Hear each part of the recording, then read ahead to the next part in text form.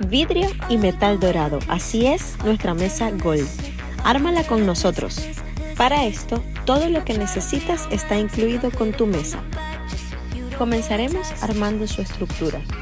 Uniremos todas las patas con la unión de metal en forma de cruz. Fijaremos esta unión con los ocho pernos y nuestra mágica llave Allen. Antes de sobreapretar, asegúrate de instalar una segunda unión. Los topes antideslizantes ya vienen instalados. Una vez fijadas las uniones, está lista nuestra estructura.